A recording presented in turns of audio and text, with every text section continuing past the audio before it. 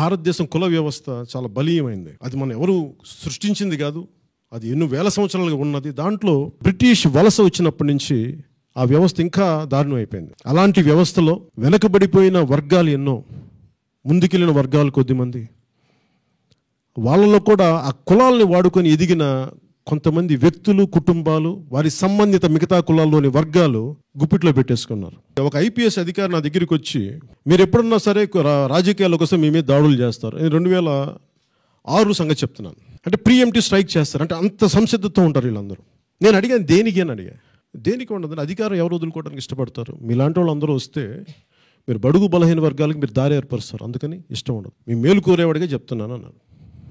అలాగే రెండు వేల పద్దెనిమిదిలో చాలామంది నాకు బాగా తెలిసిన పెద్ద సంఘంలో చాలా పలుకుబడి ఉన్నవాళ్ళు పెద్దలు చాలా గౌరవ వృత్తిలు చేసేవాళ్ళు వ్యాపారులు వైద్య రంగంలో ఉన్నవాళ్ళు ఇలాంటి వాళ్ళు వ్యా- పారిశ్రామికవేత్తలు అప్పుడప్పుడు కొన్ని సందర్భాలు కనిపిస్తూ ఏమయ్యా నువ్వు మా వాడికి చేయవాయా నువ్వు లాస్ట్ టైం టీడీపీ చేసావు ఈసారి మా వాడికి చేయవాయా అనేవాళ్ళు. నేను మూడు అడిగాను ఎలా సార్? అన్న. ఏమంటే నాకు అంటే నేను నాకు ఎవరి మీద వ్యక్తిగతంగా రాజకీయాల్లో ఎవరి మీద కోపం కక్షలు ఏమి ఉంటాయి? ఏముంటాయి విధానాల మీద మనకి విభేదిస్తాను తప్ప నాకు జగన్ రెడ్డి గారితో నాకు ఏముండదు వ్యక్తిగత కక్ష? మీరు ఆలోచించండి. మీరు ఒక విధానం పెట్టుకున్నారు మా వాళ్ళు రానివ్వట్లేదు ఆ విధానం మీద నేను పోరాటం చేస్తాను. అంతే తప్ప నాకు జగన్ రెడ్డి గారి మీద వ్యక్తిగత కక్ష ఏముంటుంది సో నేను అడిగి ఎలా సార్ అన్న నాకు బాగా తెలుసు మా ఫ్యామిలీ ఫ్రెండ్స్ కూడా చాలామంది ఇళ్ళల్లో సరే ఏదో నేను నవ్వే సమాధానం చెప్పాను నా లోపల వచ్చిన ఉత్పన్నమైన ప్రశ్న ఏంటంటే నువ్వు అవ్వు అని నేను నేను అంత నేను అది ఆశించలేదు. అది నేను నాకు అలాంటి ఆలోచన నాకు నేనేం కోరుకున్నానంటే బడుగు బలహీన వర్గాలు బయటికి రావాలయ్యా. అనగారు ఆ మాట అంటారేమో అని ఆశించాను. కాకుండా మీ సామాజిక అంటే వారి ఆ పర్టికులర్ సామాజిక వర్గం నుంచి వచ్చిన మాట్లాడిన వ్యక్తి నాకు అనిపించింది. మీరు కూడా మీ స్థాయి వ్యక్తులు డాక్టర్లు అయ్యండి పారిశ్రామికవేత్తలు అయ్యండి పది మంది కష్టం మీద డబ్బులు సంపాదించి మీరు కూడా ఒక వ్యక్తికి మగ మా సామాజిక వర్గానికి చెందిన వ్యక్తికే మీరు సపోర్ట్ చేయమంటే అది నాకు కించిత్ బాధ కలిగించింది. మనం వాటితో తిట్టలేము. మన కులంలో ఉన్నప్పటికీ గుణహీనులు కెపాసిటీ లేని వాళ్ళు ఇలాంటి వాళ్ళు మనం వెనకేసుకొస్తే మన కులంలో ఉన్నారని వెనకేసుకొస్తే అది ప్రజలకి సమాజానికి దేశానికి ద్రోహం జరగదు. అగ్రశూద్ర కులాల్లోని పెద్దలు కూడా ఇది ఆలోచించాలి. నేను వారికి విన్నపం చేస్తాను. నా ఫౌండేషన్ దినంగానే దినంగా నేను విన్నపం చేస్తున్నాను. ఇది ఎంత నష్టం జరుగుద్ది అని అంటానికి మీకు ఒక హిందీ రాష్ట్ర కవి రామ్ధారి సింగ్ దినకర్ పరశురామ్కి ప్రతీక్ష అని ఒక కవిత సంకలనం రాశారు. ఆయన దాదాపు మూడు సార్లు నాలుగు సార్లు ఆయన చాలా సార్లు అత్యధిక సార్లు ఆయన రాజ్యసభ సభ్యులైన.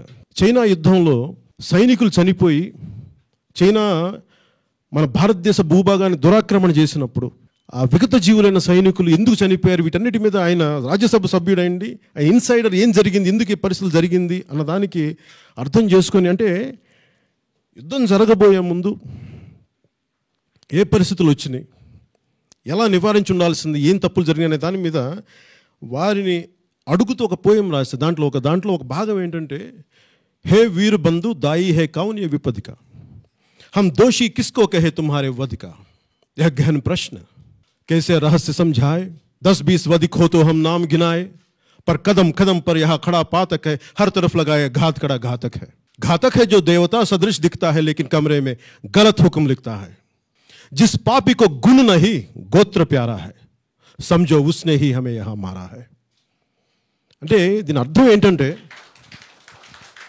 విగత జీవులై పడి ఉన్న సైనికుల్ని ఆ కవి అడుగుతూ ఉన్నాడు "ఓ వీరబాంధవుడా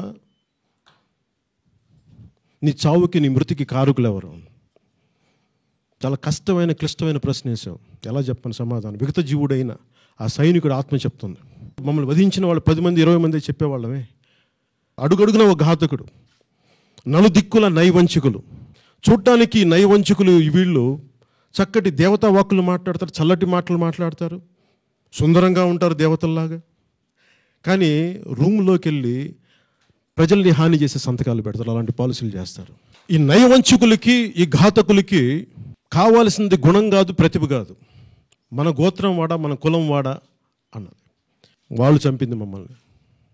శత్రుదేశం చంపకంటే ముందు ముందు మనవాళ్ళే ముందు మనల్ని చంపేశారు. ఆ కవిత నుంచి ఎందుకు వచ్చింది ఈ మాటలంటే ఆ రోజున అప్పుడున్న ప్రభుత్వంలో కొన్ని కీలక నిర్ణయాలు తీసుకునే వ్యక్తులు యుద్ధాన్ని వ్యూహాన్ని అర్థం చేసుకోలేని వ్యక్తులు ఆ ప్ర చాలా ఉన్నతమైన స్థానాల్లో పెట్టడం వల్ల అంతకుముందే చెప్పారంట చైనా దురాక్రమణ జరగబోతుంది మీరు ఉంటుందంటే అది ఊహించలేని వ్యక్తులు దాన్ని హ్యాండిల్ చేయలేని వ్యక్తులు కేవలం కులం గోత్రం మావాడని పెట్టుకుంటే ఆ వచ్చిన తప్పు వల్ల ఇది జరిగింది అనేది చెప్తా ఉన్నారు. అలాంటిది ఈ రోజున ఆంధ్రప్రదేశ్లో కానీ తెలంగాణలో కానీ ఎక్కడైనా సరే కులం అనేది అంత ప్రాధాన్యత వచ్చేసింది. దీనివల్ల అగ్రవర్ణాల్లోని పేదలు సఫర్ అవుతున్నారు. ఉదాహరణకి జగన్ రెడ్డి గారు తప్పు చేస్తే రెడ్డి సామాజిక వర్గం ఎందుకు సఫర్ అవ్వాలి?